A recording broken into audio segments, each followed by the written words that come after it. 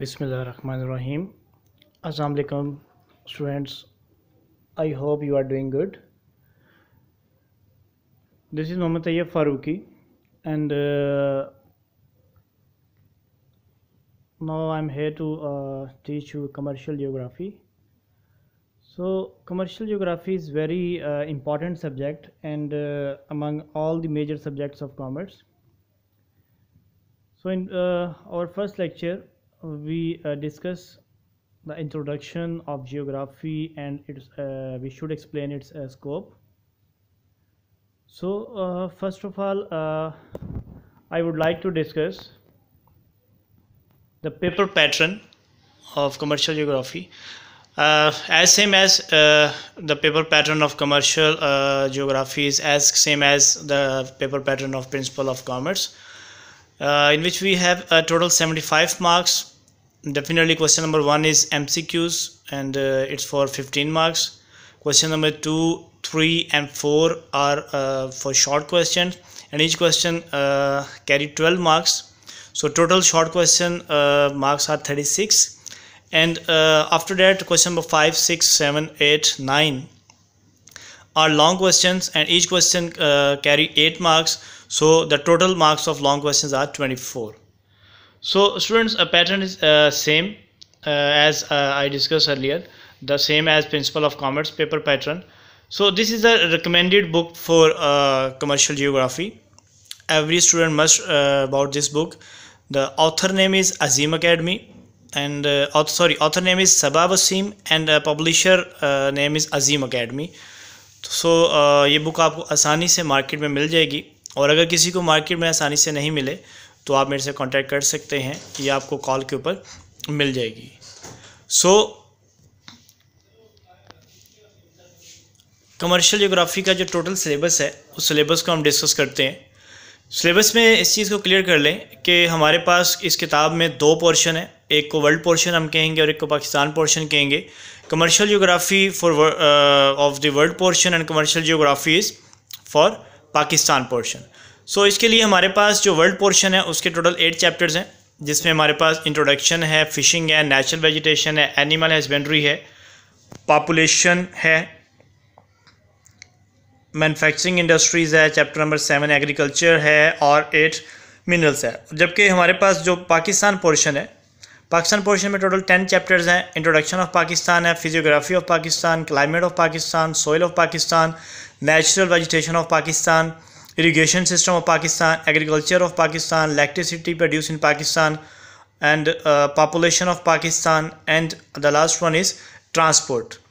तो ये total uh, chapters हैं जो हमने डिस्कस करने हैं और इनको हमने जो है वो पढ़ना है तो एक चीज़ आपने ख्याल रखनी है कि uh, जो पेपर पैटर्न आपका मैंने पहले डिस्कस किया है तो जो आपका वर्ल्ड uh, पोर्शन है वर्ल्ड पोर्शन में से question short question number two और शॉर्ट क्वेश्चन नंबर थ्री दोनों आएँगे और लॉन्ग क्वेश्चन जो है इसमें से तीन आएँगे। और जबकि पाकिस्तान पोर्शन में से आपका शॉर्ट क्वेश्चन नंबर जो फोर है वो आएगा। और उसके बाद इसमें दो लॉन्ग क्वेश्चन आपके पास जो है वो फाइनल में इसमें से आएँगे आपके पास। जी अब हमने जो ऑनलाइन क्लासेस जो अभी स्टार्ट की हैं इसमें आ, हमारा जो प्लान है वो फ़र्स्ट जून से क्लासेस स्टार्ट होंगी और थर्टी जुलाई तक चलेंगी। तो जैसे कि ये मैंने सिलेबस ब्रेकअप यहाँ पे मेंशन किया है तो सिलेबस ब्रेकअप में आपको नज़र आ रहा होगा जी मंडे ट्यूसडे वेंसडे थर्सडे मैंने जो है वो टॉपिक्स मेंशन किए हैं। फ्राइडे को नहीं किए इट्स मीन फ्राइडे को हमारा लेक्चर नहीं होगा। तो first four days commercial geography का लेक्चर होगा और हम इंशाल्लाह कोशिश करेंगे कि इसमें जो है वो डिटेल से सारी की सारी जो चीज़ें हैं वो डिस्कस करें। इसके साथ साथ आपने एक असाइनमेंट सबमिट करनी होगी और असाइनमेंट जो है वो आप लोगों ने आपको बता दिया जाएगा जो कि आपने सबमिट करनी है। एवरी मतलब कि आपने फोर्टीन डेज़ के बाद आपने असाइनमेंट्स जो हैं वो सबमिट किया करनी है और ये आपने पर्सनली कॉलेज में विज़िट करके जो ऑफ़िस है वहाँ पे सबमिट करवानी होगी।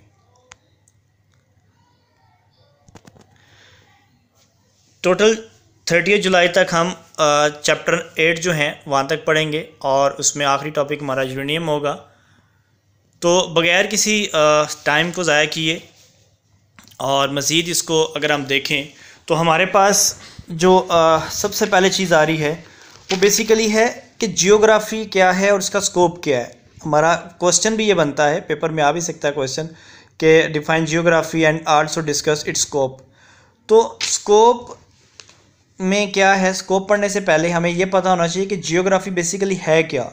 तो एक बात आपने याद रखनी है, और ये बहुत इंपॉर्टेंट बात है शॉर्ट क्वेश्चन में आने वाली बात है एम में आने वाली बात है, कि जियोग्राफी किन दो वर्ड से बना है? तो जियोग्राफी दो वर्ड से बना है जियो और ग्राफी ये दोनों ग्रीक वर्ड्स हैं। जियो भी ग्रीक वर्ड है और ग्राफी भी ग्रीक वर्ड है। ये दोनों ग्रीक वर्ड से लिए गए हैं, और जियो का मतलब है अर्थ और ग्राफी का मतलब है डिस्क्रिप्शन तो जियोग्राफी पर क्या बनेगा? जियोग्राफी बनेगा डिस्क्रिप्शन ऑफ़ अर्थ मैं इसको रिपीट करता हूँ. The word geography is drive from the two Greek words geo and graphy geo means earth and graphy mean description so description of earth is called geography तो अगर अब आपसे कोई सिंपल डेफिनेशन अगर आपने याद करनी है जियोग्राफी की तो आपने याद रखना है कि इसका मीनिंग क्या है? Description of earth is called geography एक बात को याद रखिएगा कि जियोग्राफी कोई नया सब्जेक्ट नहीं है कोई नया नहीं है बल्कि ये थर्ड सेंचुरी जो है से स्टार्ट हुआ है और थर्ड सेंचुरी से इसके ऊपर जो है लोगों ने वर्क करना स्टार्ट किया और काम करना स्टार्ट किया और आज तक अवेलेबल है। हमारा सब्जेक्ट प्योर जियोग्राफी नहीं है हमारा सब्जेक्ट होगा कमर्शियल जियोग्राफी सो so, हमने अभी इस स्लाइड में क्या पढ़ा? स्लाइड में हमने एक चीज़ देखी है कि जियो का मतलब जियो ग्रीक वर्ड से लिया गया है जियो और ग्राफी। जियो का मतलब अर्थ है, ग्राफी का मतलब डिस्क्रिप्शन है। और जियोग्राफी की जो स्टडी है, वो थर्ड सेंचुरी जो है, वो बिफोर क्रिस से स्टार्ट हुई हुई है। तो अब अगर आप, मैं थोड़ी सी सिंपल इसको मज़ीद करूँ तो आपके माइंड में एक बात आ रही है ये तो हो गया मीनिंग जियोग्राफी का। तो जियोग्राफी की डेफिनेशन जो है, वो पेपर में आती है।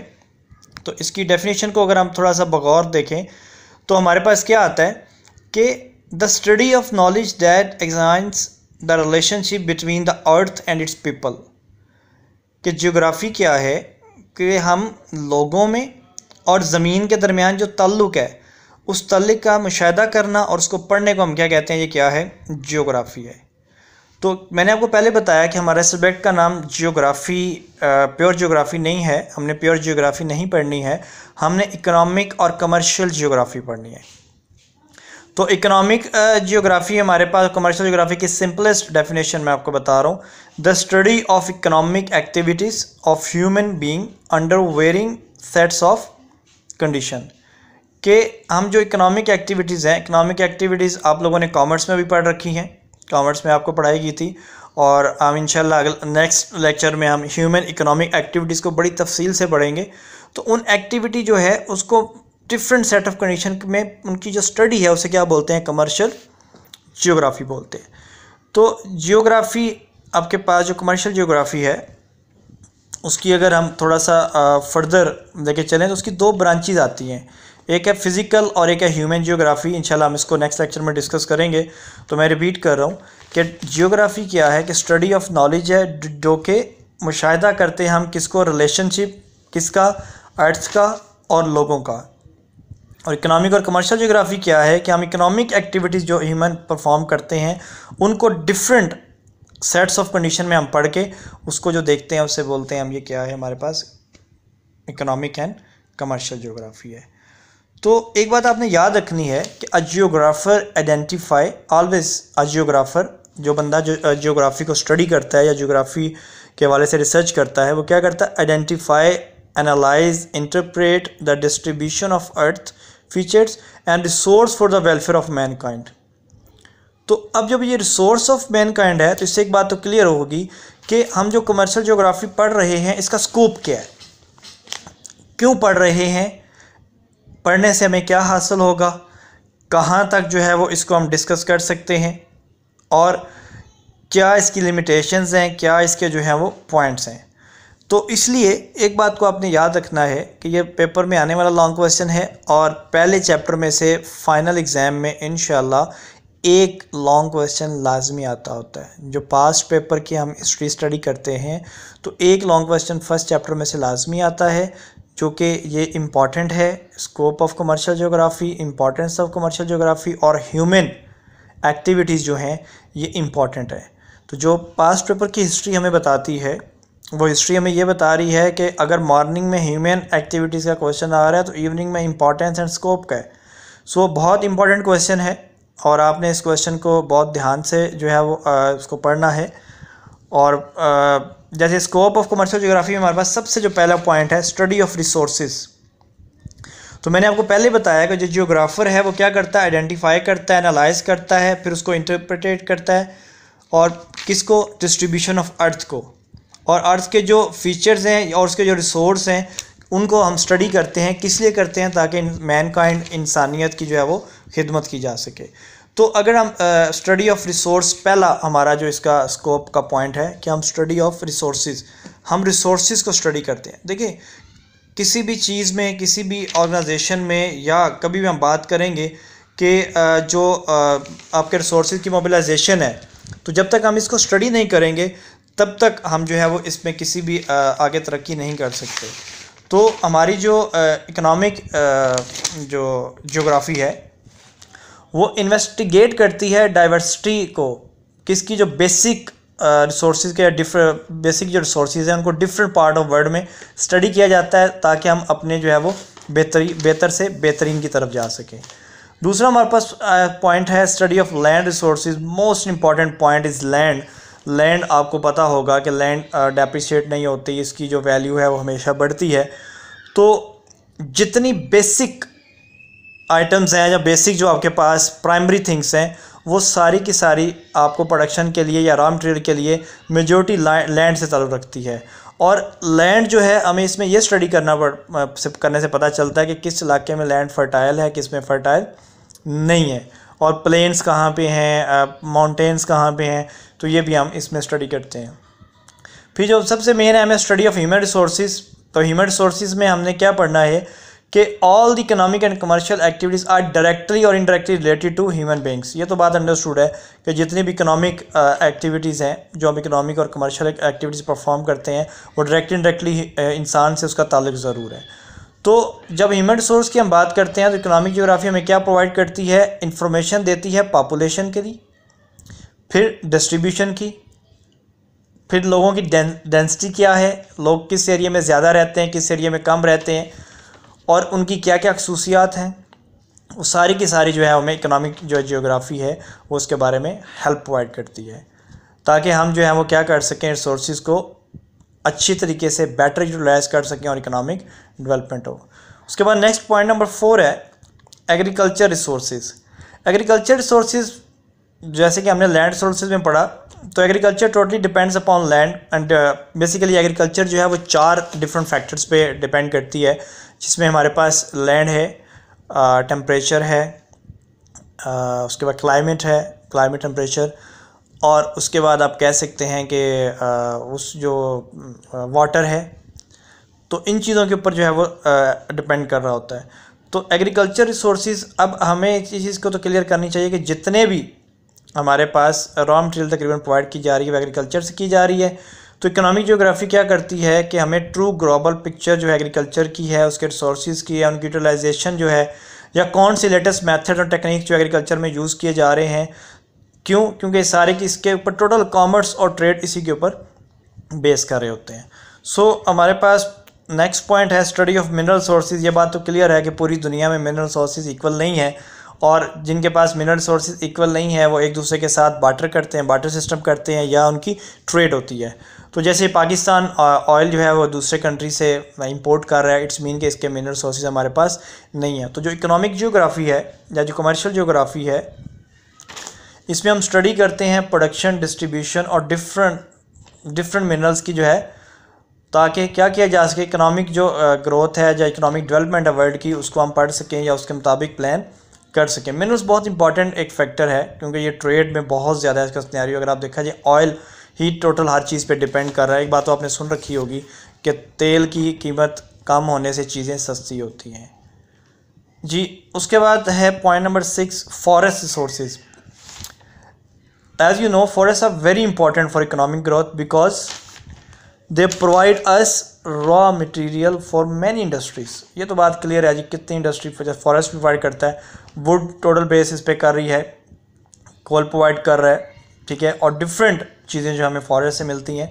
तो जियोग्राफी की स्टडी से हमें पता चलता है कि फ़ॉरेस्ट की इम्पोर्टेंस क्या है और फॉरेस्ट्री एरिया को हम किस तरह जो है वो मज़ीद इसमें एडिशन कर सकते हैं। इंशाल्लाह तफसील से हम पढ़ेंगे अगले लेक्चर्स में। देन हमारे पास पॉइंट है study of water resource water resource बड़े इंपॉर्टेंट है जी. मौजूदा दौर के अंदर आपने एक चीज़ पढ़ रखा होगा कि कमर्शियल के जो आपके पास वाटर है उसके ऊपर इलेक्ट्रिसिटी आप बना रहे हैं हाइड्रो पावर प्रोजेक्ट्स आपने लगाए हुए हैं जैसे पाकिस्तान में दो बड़े प्रोजेक्ट है एक आपके पास मंगला है और एक तरबेला है और भी हैं लेकिन ये दो मेजर हैं तो उसके लिए भी वाटर चाहिए। फिर वाटर एक तो इसके लिए चाहिए देन वाटर के ज़रिए से आप जो है वो आ, आ, आप कह सकते हैं कि ज़रूरत ज़िंदगी का एक मेन हिस्सा है बेसिक नीड है। और सबसे बड़ी बात यह है कि पानी के हवाले से ही फ़िशिंग बहुत इस पर डिपेंड करती है, कि जो फ़िशिंग है, वो भी पानी के ऊपर डिपेंड कर रही है। तो फ़िशिंग खुद एक बहुत बड़ी इंडस्ट्री बन चुकी है, इंशाल्लाह हमारा चैप्टर नंबर टू फ़िशिंग ही है, उसमें इसको डिटेल से पढ़ेंगे। तो पॉइंट नंबर एट है हमारे पास means of transportation means of transportation एक बात को आपने याद रखना है कि मीन्स ऑफ़ ट्रांसपोर्टेशन बैकबोन है किसी भी जो है वो इकानमी की। अगर मीन्स ऑफ़ ट्रांसपोर्टेशन इंफ्रास्ट्रक्चर आपका वीक है तो आपकी इंडस्ट्री जो है प्रॉपर नहीं चल सकती और आपके कंट्री में जितनी भी चीज़ें हैं वो डिले होंगी। So means of transportation also play an important role for the progress of agriculture minerals and industrial development so without the study of means of transportation study of other factors is not possible this is the main thing in geography we study about all types of means of transportation like air sea roads and railways जी। उसके बाद point number nine है कि trade centres का। देखें, ये तो बात अंडरस्टूड है कि हमें दुनिया में जितने ट्रेड सेंटर्स हैं, उनका तभी पता चलेगा जब हम कमर्शियल जोग्राफ़ी की स्टडी करेंगे। कमर्शियल जोग्राफ़ी ही हमें बताती है कि यह इन्फॉर्मेशन प्रोवाइड करती है कि जो ग्लोबल मार्केट्स हैं और ग्लोबल मार्केट कहाँ कहाँ हैं, क्या उनकी कंडीशन हैं क्या क्या उनकी नीड है तो उस, वो भी हमें जो है वो कमर्शियल जोग्राफ़ी प्रोवाइड करती है। देन इसके स्कोप में हम एक चीज़ जो ज़रूर पढ़ेंगे कि रिड्यूस डिस्पैरिटी गैप डिस्पैरिटी जो गैप है, ये बात आप क्लियर कर लें कि बेसिकली कल्चर हेरिटेज हो गया मॉडर्न नीड्स हो गया इकोनॉमिक रिसोर्स हो गया, या जो साइंटिफिक स्टडीज़ हैं, इसको सामने रखते हुए हम जो दुनिया में है, उस सोसाइटीज़ का जो डिस्पैरिटी गैप है, उसको लेमिनेट करते हैं रिड्यूस करते हैं। तो ये भी इस तरह हमें पता चलता है इसकी कमर्शल जोग्राफी की स्टडी से हमें क्लियर होता है। देन कमर्शियल जोग्राफी की स्टडी से प्रॉपर रिलेशन जो है मैन और इन्वायरमेंट का, वो भी हमें क्लियर होता है कि मैन और इन्वायरमेंट का जो प्रॉपर रिलेशन है, उसको हम किस तरह देख सकते हैं। तो वो भी जब इन हम कह सकते हैं इकोनॉमिक जोग्राफ़ी जो है हमें हेल्प करती है कि कुछ रीजन जो हैं, वो फ़ूड प्रोड्यूस कर रहे हैं और कुछ ऐसे हैं जो कि फ़ूड प्रोड्यूस नहीं करते, कि क्या रीज़न है, वो कोल्ड हैं, वहाँ पे या ज़्यादा ड्राई हैं या कुछ भी उसमें डिफरेंट है वो भी हम इसमें डिस्कस करते हैं। Then study of power resource है। पावर रिसोर्स की स्टडी बहुत ज़रूरी है, क्योंकि एक चीज़ तो क्लियर है कि कमर्शियल इंडस्ट्री और एग्रीकल्चर की जो प्रोडक्शन है totally depends upon power resource nowadays so in economic geography we study the power resource in detail because they use to generate power and electricity next है जी means of communication point number thirteen means of communication जैसे कि आपको पता है कि आजकल means of communication बहुत आम है मोबाइल फ़ोन है फैक्स है ईमेल है इंटरनेट है टोटल दुनिया ग्लोबल विलेज है, और हम टोटल बिज़नेस जो है इसके ऊपर आसानी से कर रहे हैं तो मीन्स ऑफ़ कम्युनिकेशन को अभी स्टडी हम कमर्शियल जोग्राफ़ी में करते हैं। देन उसके बाद है, हमारे पास the most important study of means of irrigation देखिए एग्रीकल्चर की बात जब भी होगी लैंड की बात जब भी होगी तो वाटर की बात होगी वाटर सोर्सेज की बात होगी तो ये सारी चीज़ें हम पढ़ेंगे जियोग्राफी के अंदर। तो कमर्शियल जियोग्राफी की स्टडी हम जब भी करते हैं तो इरिगेशन एग्रीकल्चर डिपेंड करती है इरीगेशन में। देखिए, दो तरह के हमारे पास इलाके होते हैं, जो कुछ ऐसे हैं जो कि इरीगेट किए जाते हैं through different sources like tubewell canals etcetera और कुछ इलाके ऐसे हैं जिन पे सिर्फ़ रेन पे डिपेंड करते हैं। बारिश होगी तो उन पे एग्रीकल्चर होती है। तो हम कमर्शियल जोग्राफ़ी जो है हमें इसकी स्टडी से हमें ये भी पता चलता है कि मीन्स ऑफ़ इरीगेशन कौन कौन से हैं और इनकी इंपॉर्टेंस क्या क्या है। और बेसिकली जो आपको पता है कि फ़ूड जो है ह्यूमन बींग की बेसिक नीड है तो इसलिए मीन्स ऑफ़ इरीगेशन इस बेसिक नीड को पूरा करने के लिए हेल्प करते हैं।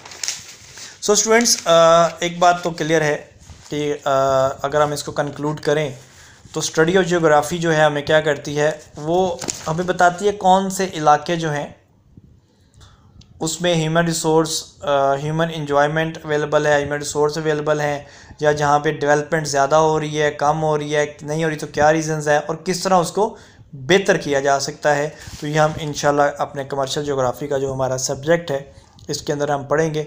बड़ा ही इंपॉर्टेंट सब्जेक्ट है, बड़ा ही इंटरेस्टिंग सब्जेक्ट है। हम इसमें डिफरेंट चीज़ें डिस्कस करेंगे। हम डिफरेंट एलिमेंट्स को क्लोजली देखेंगे। जो अक्सर आपके माइंड में क्वेश्चन आते हैं कि ये ऐसा है तो ऐसा क्यों नहीं है? हम कुछ चीज़ें इंपोर्ट करते हैं तो क्यों करते हैं? एक्सपोर्ट क्यों करते हैं? हम यहाँ पे कुछ चीज़ें प्रोड्यूस नहीं कर रहे, वो हम एक्सपोर्ट कर रहे हैं प्रोड्यूस कर सकते हैं। इन सारी की सारी जो चीज़ें हैं, वो हम इसमें डिटेल से पढ़ेंगे। तो एक बात जो आपने अभी जहन नशीन करनी है कि ये जो मैंने आपको भी ये ये जो मैंने कंटेंट्स बनाए हैं इसमें कुछ को मैंने रेड किया हुआ है। जैसे नेचुरल वेजिटेशन पॉपुलेशन एग्रीकल्चर तीनों को रेड किया हुआ है।